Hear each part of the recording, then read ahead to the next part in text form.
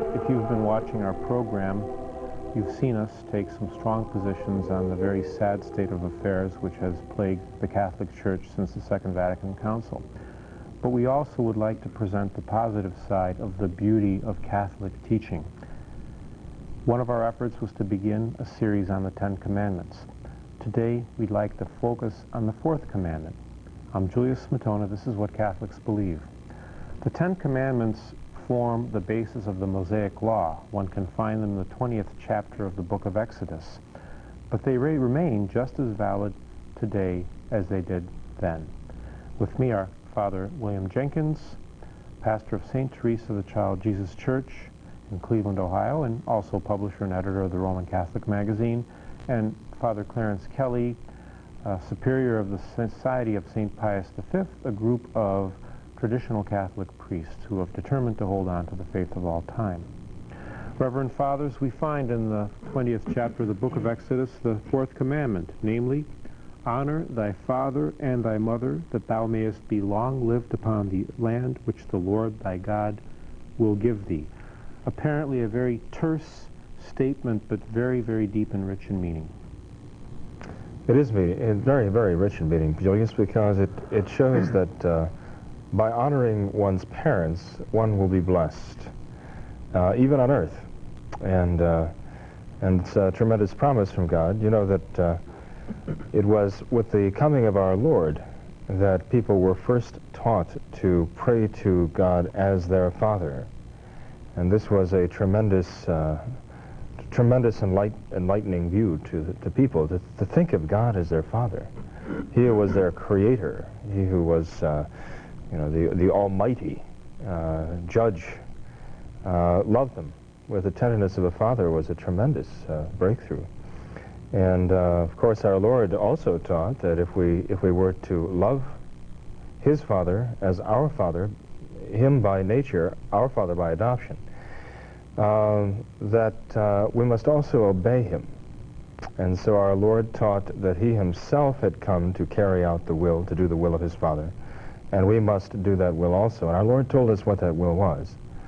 So our Lord did not give us simply a, uh, a blank check, so to speak. You know, God is your Father, here are the car keys, you know, have a nice time. Uh, our Lord taught us that uh, we must be good children adopted by the uh, grace that our Lord won for us through his sacrificial death on the cross. And we must obey his Father's will. Father Kelly. I think the commandment itself tells us something about the inner life of the Blessed Trinity. We know that in God there are three divine persons, the Father, the Son, and the Holy Ghost. We know that the eternal Son of God proceeds from the mind of his Father, and that the love between the Father and the Son uh, is the Holy Ghost. So we have truly three divine persons in the Blessed Trinity.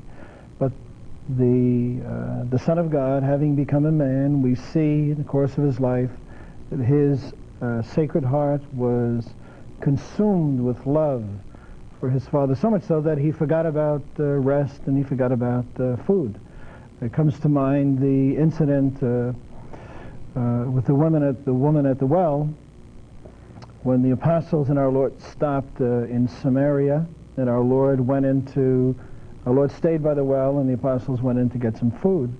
And our Lord then went uh, through this series of questions with this woman to bring about her conversion, which uh, demonstrated his great love for souls. And when the apostles came out, they brought food to him. And our Lord was not even thinking about the food. He was thinking about uh, his Father. He was consumed with this desire to do his Father's will. And the apostles said, well, uh, has someone brought him something to eat? And our Lord said, I have meat of which you know nothing. And my, my meat is to do the will of him who sent me. So our Lord is consumed with love for his heavenly Father to do his holy will. And we have in this commandment, this fourth commandment of God, a, uh, an expression uh, and a manifestation of the disposition that a child should have uh, toward his parents, that we should love our parents, we should reverence them and, and respect them and be devoted to them and be concerned for their spiritual and for their temporal welfare.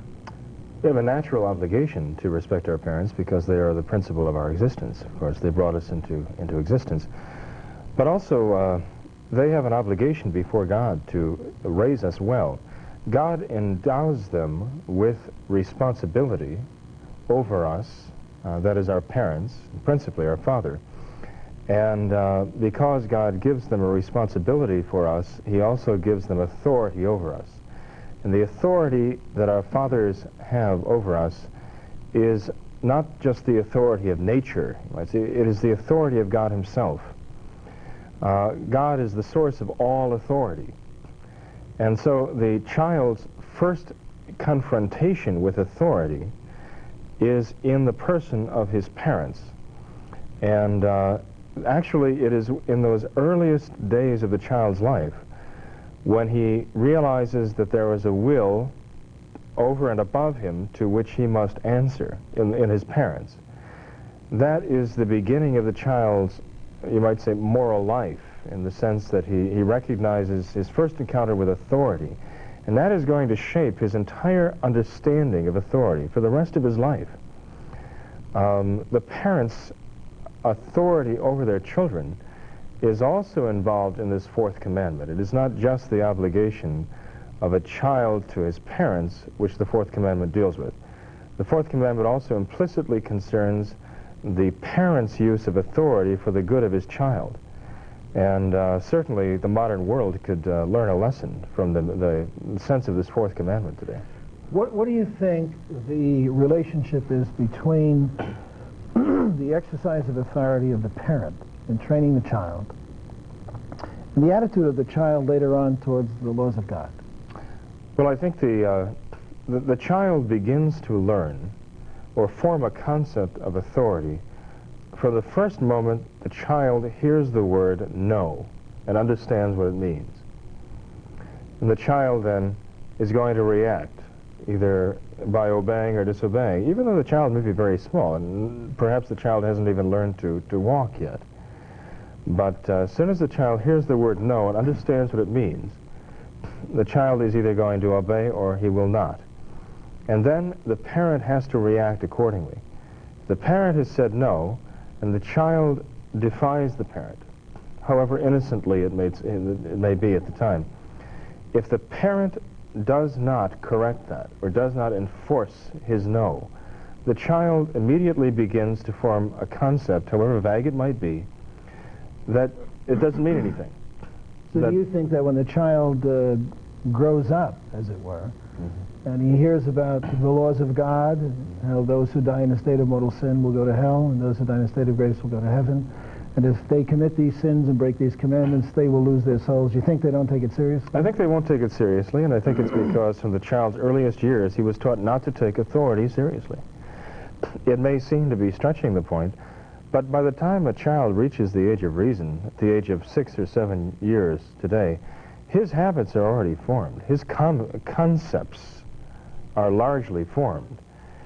And uh, one of the first concepts he's going to be forming is uh, his relationship to the will of his parents and those who are over him, the whole notion of authority. And if he's been taught by his parents' neglect that uh, no doesn't really mean no, that the child uh, can do what he wants and there's no enforcement of any, any restraints on his own will, that child is going to grow up to be rebellious and completely out of control. So it's very important for the parents to learn to be consistent. to learn to be consistent from the beginning. You know, if, if the first time the, the child hears no and understands it, and he defies it, and nothing is done about it, what happens the second time he hears no? It's, it's already established in his mind that it doesn't mean anything. So the more, the oftener a parent lets it go, the more difficult it is going to be to overcome that, uh, that defiant notion in, the, in even the, the small child that no doesn't mean no. Okay, so from the point of view of uh, the disciplining of the child. It's very important for the parent to be consistent, Absolutely. and if the parent threatens punishment, then the punishment should be meted out if the law is broken. Right. Okay. On the other side of the, the coin, we have cases, especially today, in which parents go to the other extreme. We have both extremes today, where the children rule the roost, and other cases in which the parents uh, literally abuse the children and uh, impose a discipline which is more of violence uh, than it is of reason. So how do you, how do you then balance that? What, Well, actually, I think it's the the same. rule? It's the same mentality behind both of those. The permissive parent can easily be the abusive parent too, because usually the parents who are permissive permit the child to do anything to anyone else as long as it doesn't bother them. Uh, they can do anything to the neighbor's cat they want to, anything to the neighbor's property, or anything to the neighbor. It doesn't matter to them, as long as the child stays out of their own hair. That's a permissive parent. But as soon as the child bothers them, does something that hurts them, they explode. That is the one thing that is intolerable. And they react out of selfishness and can be very brutal to the child, very abusive. so in both extremes, there's a lack of reason. There certainly is. St. John Bosco, uh, who was the, a great priest of the last century, and also the greatest educator of the last century, taught that all disciplinary systems must be based upon uh, reason, religion, and kindness. Those three things. He called the system that he established, that he followed, based upon reason, religion, and kindness, the preventive system. He said that if you want the child to respect and have reverential fear for your authority, first teach the child to love you, and not by being permissive, but by being love respectable, by being Lovable, right? Uh, lovable in the sense that the child can can find in you something honorable, something decent, and the child will respond to your love for the for him by loving you in return. But if you show yourself, as unfortunately so many do today, being very selfish, we, we bring the child into the world, but after that we, we farm the child out to be raised by other people and can't really be bothered with him while we pursue our own careers. You know, the child grows up with the idea that, that he's some sort of a misfit, that uh, he's an accident in the world, and, uh, and he's not really in the world because he's wanted there, but uh, he's some sort of a trinket. Reverend Fathers, what do you think of this tendency, which we've seen for many, many years, but it seems to have come to a head today, to portray parents as foolish, buffoons, clumsy? Uh, many of the television programs do this, uh, popular entertainment in general. Uh, what, what would be the attitude toward this? Do you think this is causing a great deal of harm, or is this just good fun? I think it is causing a great deal of harm, and I think it's sort of the the other side of the attack, the the attack that we see in the church on the priesthood, on the legitimate authority, for example, of the papacy, this uh, uh, movement to undermine uh, infallible teaching and to deny that a legitimate pope has universal authority over everyone, over every single bishop, every priest, every layperson. That has a counterpart in society as well as in the church, and that is the ruination and destruction of the family. And so, how do you destroy, or what is the most effective way to destroy a body? Like, you, you could harm a person by, uh, you know, causing uh, some type of a wound in their hands or in their legs or in their feet or in their arm or shoulder, whatever the case may be. But the most fatal and effective blow probably is a blow to the head. One swift, decisive blow to the head can accomplish what it might take many blows to other parts of the body. So you attack the head, you destroy the head, and in that way you destroy the body. So I think that a very, very important part of this is to undermine, to subvert, to destroy, to attack the authority of the parent in the home, to deprive the, uh, the parents of the respect that they need in order to have the rule of reason. We must have the rule of reason, as Father pointed out. Well, Father Kelly religion. was saying so well that the children need consistency, and that's another word for stability. And they need a home, a stable home life. Remember, uh, you know, the, the, the parents are, for the first few years of a child's life, like the child's whole world. And if this is not stable, the child grows up himself being very unstable. If we can get back to the home life after we take our break, you're watching with Catholic Beautiful Sentiments, and we will do what we can to continue and to send him the catalog of our broadcast. Father Jenkins, I interrupted you while you were talking about the stability of the home. That's a real problem today. The idea of a, of a family with with our dual parents working, the wife pursuing her career, the husband pursuing his career, has almost made uh, uh, anarchy of the family. And in fact, if a woman today, even if she was educated, say, and they said, well, what would you like to do with your career? Well, I'd like to get married and have a family. She'd be looked down upon with contempt as being somehow uh, helpless or very much second rate or someone to be held with a certain amount of contempt. What has this done to the fourth commandment? This whole well, if, if you tie it in with what we were speaking about before, why is the parent, for example, portrayed as being whatever, a buffoon or ignorant or someone worthy of contempt? Uh, or what is the effect of it in any case? And it is to undermine the authority which is absolutely necessary for the family unit. You have to have that authority. And as Father Jenkins pointed out before, the authority that a father has comes directly from God. God is the one who gives that authority. And by his authority, he is to impose the laws of God and the rule of love and uh, the principles which are necessary to have a good, a healthy, and, uh, and holy family. Now, the, the head is, is undermined and the body, therefore, is uh, affected. But also, the ideals are subverted. And that, in a certain sense, has a more devastating effect. To portray family life as anything less than noble and in a certain sense sublime uh, is to uh, is to undermine it because that's what it is. That is what what God considers to be to be very important. So if you put into the minds of young people that somehow a woman who becomes a vice president in some corporation or the president in a corporation or a successful businesswoman somehow has achieved something, whereas if she simply settled to be a poor wife uh, and mother, uh, that would be a tragedy. You have uh, you have made up and down, up down, black white, white black, right wrong, and wrong right. You've you've completely twisted the order of things as it is in reality. The truth of the matter is that a mother, someone uh, who is given a charge over the life of another person to mold and to fashion this creature made in the image and likeness of God and eventually to succeed in seeing that this child has the crown of eternal life, that is a noble and sublime calling, whereas a woman who merely becomes a vice president of some corporation or president, she, that's a real come down in reality. Now, now people are uh, are, are, in a certain sense, twisted in their value system, you know, you could conceivably uh, peddle tin as more valuable than gold. If you, if you had enough control over the propaganda system of a society, you could have people throwing gold out and, and treasuring tin. And that is really what has happened.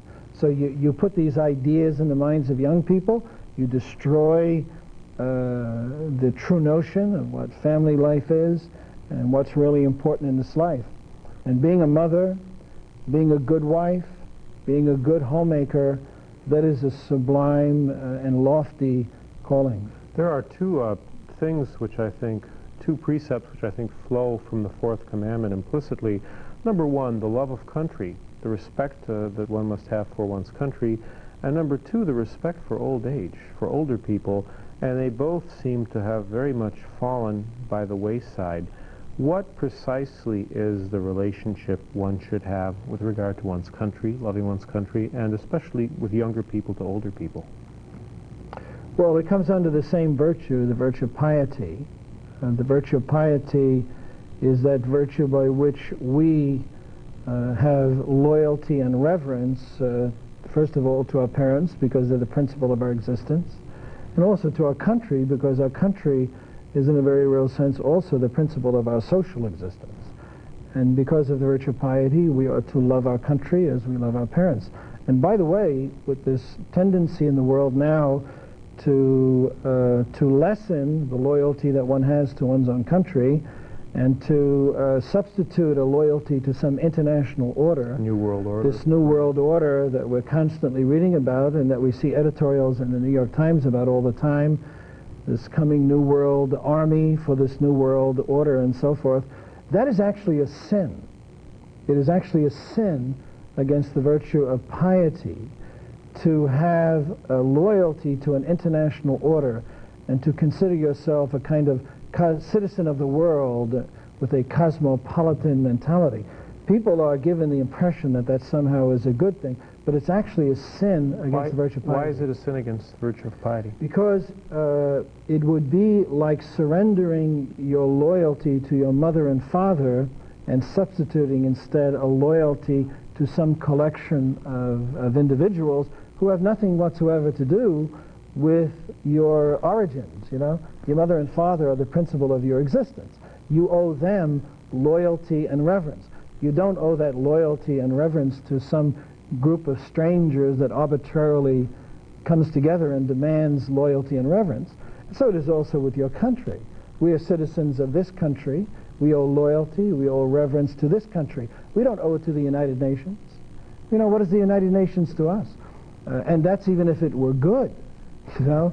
I mean, if the United Nations were not the, the instrument of the devil as it is and the purveyor of false notions of liberty, and eventually, and in, in my opinion, the instrument of uh, an international totalitarian state, even if it were not all those things in reality, or potentially all those things, even if it were a good organization, which it is not, you still could not uh, give up your loyalty to your country, which is the principle of your existence, in order to transfer it to some international organization. Father Jenkins, what about the loyal or the, the respect and the honor that is due to older people just by the virtue of the fact that they are older by younger people? This is something which is generally held in contempt today.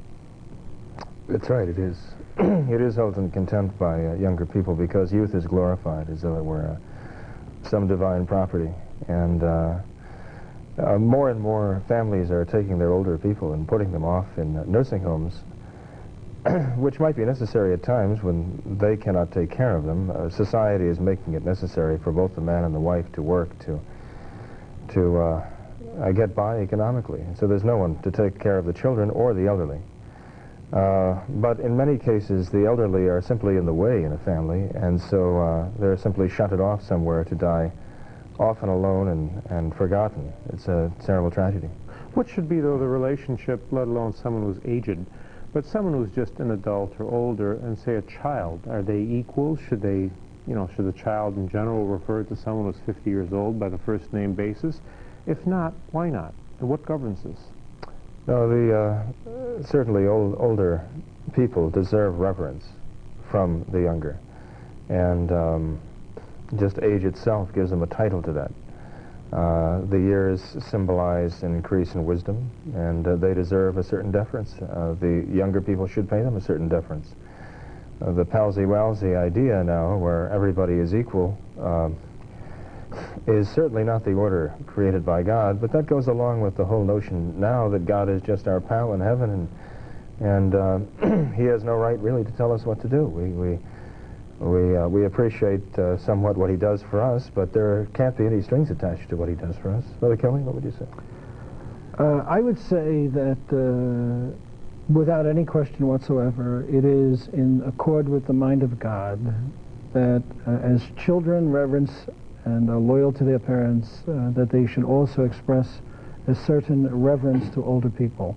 And, and that, by the way, as far as reality is concerned and as far as God is concerned, uh, being a doctor or a lawyer or a businessman and so forth, those are not even considered vocations. Uh, there are three vocations, uh, to the married life, to the single state in the world, and to religious life. And uh, young women and young men who are called to the married state, that's a true vocation from Almighty God. If you're a good mother and a good wife, a good father, good husband, then you have uh, come a long, long way to fulfilling the purpose for which God created you. And you should be uh, filled with joy uh, if that is the case. And don't be taken in by this propaganda that is put forth in television and in newspapers that somehow there's anything wrong with being a mother, just being a mother and just being a wife. There's nothing wrong with it. There is something wrong with uh, attaching your happiness to some uh, thing in the world. Which passes and is mere vanity. That's right. Right. You've been watching what